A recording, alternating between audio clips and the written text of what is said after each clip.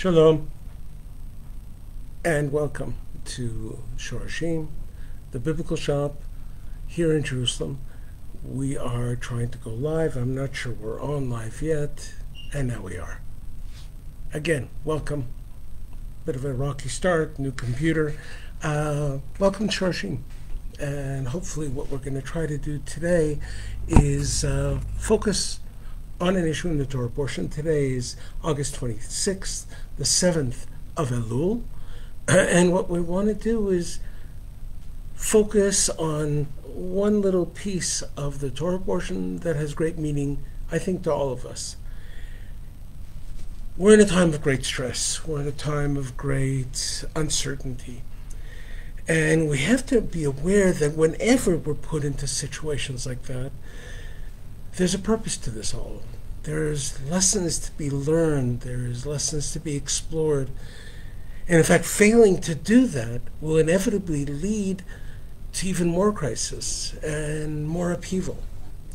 The world, over the last long period, has devolved into becoming more digitalized, more instant, more plastic existence we began to drift away from real relationships, and a desperation began to, began to determine who our friends are by which people like our Facebook or Twitter posts. We destroyed real long standing relationships in family and friends uh, due to slogans, political stands, politically correct new thinking people stop believing in ultimate vision and purpose and have raised banners of simple ideas, simple solutions, and slogans. What I want to do, actually, is I want to focus on I want to focus on something in the Torah portion that I believe will be meaningful. But I have to make it very clear. I'm talking about maybe a controversial issue, especially in the United States and other parts of the world, I'm not aiming this at the haters. I'm not aiming it at the anarchists. I'm not aiming it at the selfish people in the world.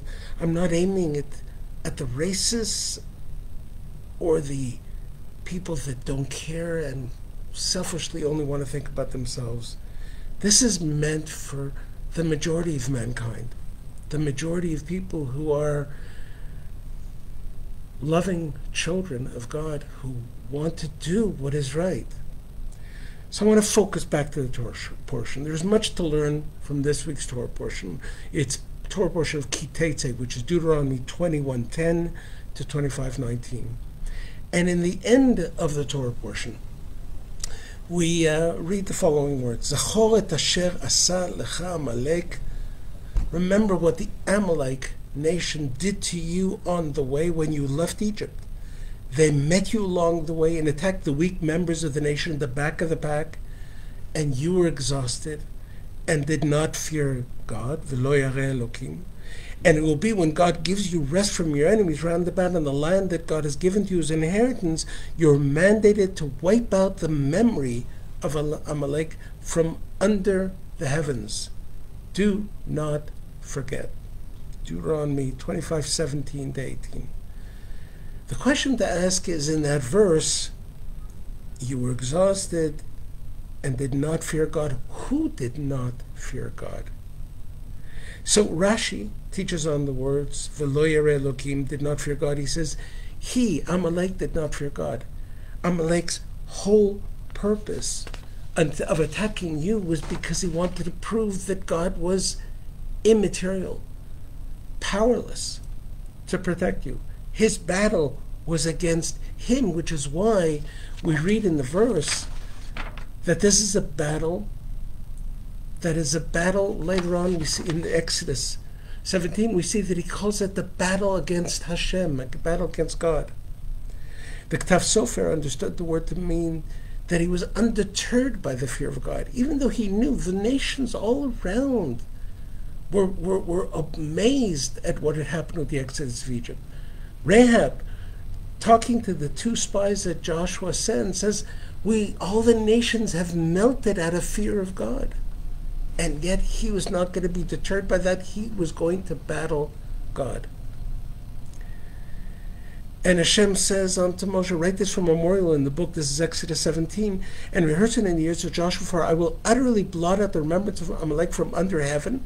And Moshe built an altar, and he says, the hand of, upon the throne of Hashem. Hashem will have war with Amalek from generation to generation. It's a battle of God fighting not this people, but what this people represented. Representing a sense of God's not important. God isn't all powerful. In fact, everything in this world is just random. Yet the Mechilta understands words diff- differently. According to his view, the words pointing at the Israelites is pointing to the Israelites. They were exhausted, they were tired, they were fatigued, and they did not fear God. They did not have that faith in God because they thought themselves to be unworthy. Amalek always appears when the people of Israel become tired, become less sure of themselves, become in, unable, unable to move forward because they feel themselves unworthy. In fact, we read in Exodus 17 from 3 to 8, and the people thirsted there for water, and the people murdered against Moshe. Where hast thou brought us up out of Egypt to kill us and our children and our cattle with thirst? And the name of the place was called Masan Merivah because of the striving of the children, because they tried Hashem, saying, Is Hashem among us or not? And the next verse, Amalek attacks. He always attacks when we lose faith in our ability to represent God in this world. How was that weariness displayed? How, how do we know that they lack the strength to go forward? So let's go back to the verse. Remember what the Amalekites did to you on the way when you left Egypt. They met you along the way and attacked the weak members of the nation at the back of the pack, and you were exhausted and did not fear God. Deuteronomy again, 25, 17 to 18. The fact that the Israelites allowed there to be weak stragglers at the back of the pack, to be weak people to be exposed and vulnerable to an easy prey for Amalek, that is the clear indication that they had lost the fear of God. The, the, the, their lack of sensitivity to those at the back, the stragglers, the weak. When people lose their sensitivity to each other, lose the power of compassion, they cease to become a vessel of God's ultimate plan. That will be the ultimate test for all of us in this world. Will we allow there to be weak members of the nation at the back of the pack without at least being concerned, without at least trying to understand, without at least trying to reaching out? The focus in the world today is whose side are you on? Rather than how do we bridge those sides? The focus today is look at what those people are saying and doing, rather than why are people saying and doing those things? This in no way is meant to condone either side in these conflicts. Decrying injustice by committing other injustices are two sides of the same coin. Injustice and uncontrolled violence are two sides of the same coin and are all pointing to a lack of faith in God and in our ultimate purpose. In order to bring God's purpose back into this world, we need to be his language. Rav Menachem Mendel of Teps, I've used this before, asked his children, asked his students, what language does God speak? And one of them said Hebrew, another one said English, another one said all languages. Rav of Teps said, no, man is the language of God. Meaning, God can express himself by the way we act. If we act compassionate, God will be seen as compassionate. God says, I want to take care of the widows and the orphans. How's he going to do that if we don't step in to do that?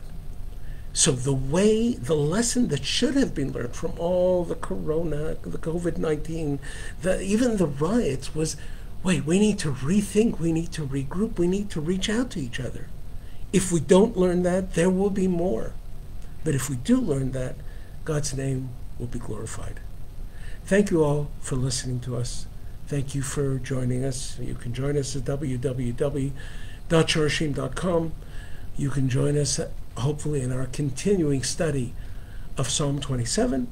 And God willing, next week, we hope to really refocus on a whole new idea, and that is to take names, break them down into their Hebrew components, into their Hebrew letters, and learn the power, the biblical power that lies in each name. So, God willing, we'll be able to do that next week. Thank you again for listening us. Remember, you can visit us also at the Shorashim Biblical Shop Facebook or the Shorashim Shop Facebook. There, we're constantly trying to put in new products because actually, your support, should you decide, only if you decide that there's something you like, that helps us continue what we're doing. So thank you for being supportive, and you have been, and thank you for being helpful, and thank you for listening. Until the next time, Litraot and Lanatov, have a great night.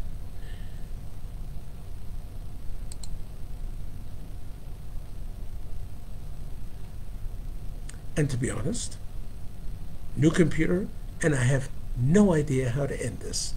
Ah, found it where it says end live video. So that's what we're going to do.